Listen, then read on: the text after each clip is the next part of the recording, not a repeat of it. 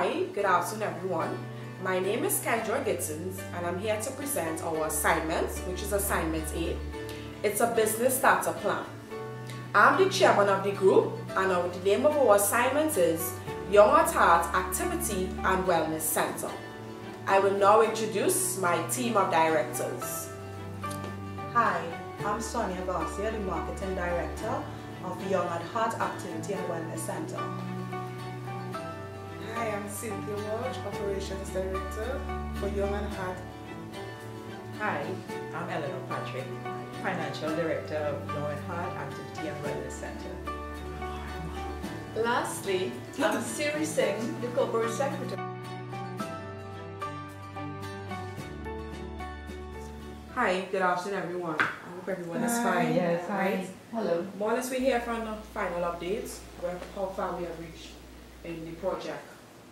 Sonia, I want to begin with you. Did you finalize exactly where is our tar- who we targeting? What's our target Well, market? based on our last meeting at class, we, we had a discussion with Sue, and he had indicated that we can do age, we can do um, income, and he made a suggestion of starting at an income bracket of ten thousand dollars because first degree people, government people are eight thousand, private institution are ten.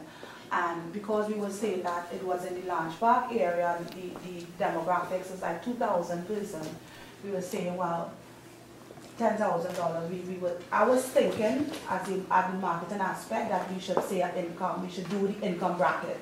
I don't know what your suggestions are on that. Uh, sounds like a good idea, but um, I think initially I want to target the mature, the 50 years and over, because the younger ones, I mean 21, 31, they already have a market. If you Yeah. get me, you know, they have places where they go, they already have activities. You know, the, the elderly, the 50 years and over, I don't see where exactly they look forward to go. So, good idea, but I want to focus on the 50 years and over Alright. as Well- our target market to be specific. So on this drawing here, we just want to indicate that we have a whole entire floor space area. We already have the, the toilets at the toilet facilities in here, so it's just for us to section off certain parts of this floor plan layout to identify where our spin class will be, where our yoga class gonna be.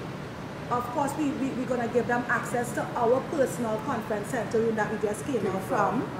So class, we just want to say this is where our activity center gonna be.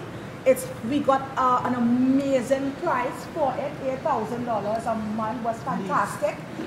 You know, and was it's a fantastic opportunity. We grab it, and as you can see, what our our plan is that we're gonna we're gonna section off the whole entire part of this room. So in one area, we are going to introduce our ballroom area. Then we're gonna gypsum off an area with a glass front for um for the, the, the, the spin class and the yoga class and whatever. The um our conference center that we just came out, we're gonna make that available for those who want to have meetings, so we're gonna make that accessible. With this open floor space, we literally can lay out whatever we want and we can have a real nice thing going on inside of. And again, we just want to introduce our team. And we're no longer a team, we feel like a family member now.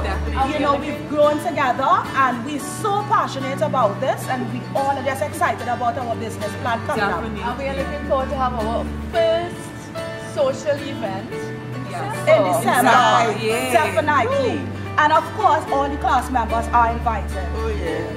Of course, you have to pay your membership fee, but you're invited.